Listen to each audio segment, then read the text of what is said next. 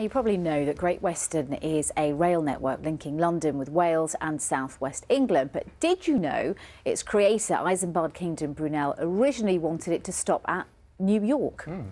I didn't. well, now, now he, you know. well, he, had, he certainly you had great vision, that's Let for sure. that sink in. Yeah. Uh, to that end, he also built the ship, the SS Great Western, which took passengers from Bristol, obviously across the Atlantic. Mm, And now there is a plan to build a full-sized replica of the paddle steamer if £20 million can be raised to pay for it. Scott Ellis has the details.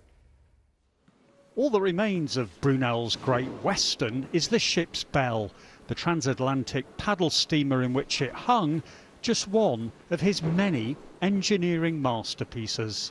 He famously built the Great Western Railway, and at one of the meetings with the directors, somebody made a, a rather shallow remark about why build such a long railway, and he said it's not long at all. Why not carry on and go all the way to New York?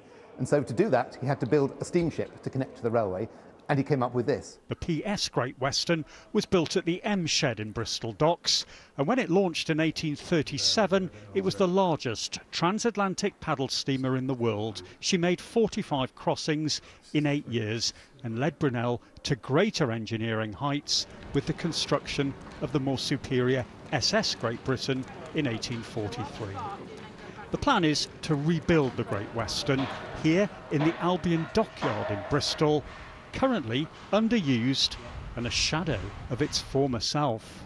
Shipbuilding has been carried on within a few yards of this spot, close to the heart of Bristol, for nearly 300 years. The Albion Docks now used for ship repairs, which will continue with the Great Western replica behind on view to the public.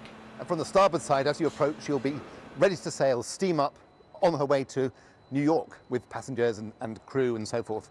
But as you walk around the stern, the sudden reveal on this side, on the port side, will be her as a giant cutaway ship model. So you can see right inside see how it works and what goes where and how that kind of world of a, a ship at sea would be like.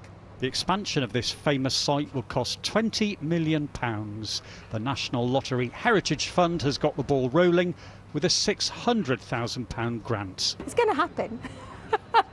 it's going to double the size of the site. Um, it, it's going to, we're going to have a living dockyard around both of the ships and really bring that to life. And it's going to mean that we're able to do an awful lot more than we can with just our current site, which is more constrained in its footprint. If the money is successfully raised, we can all admire the cutaway life-size replica of the Great Western in 2027. Scott Ellis, BBC News. It's a lot of money, but I always admire the positivity when people say, it's going to happen. It'll happen. It's the only way to be. good. Mm.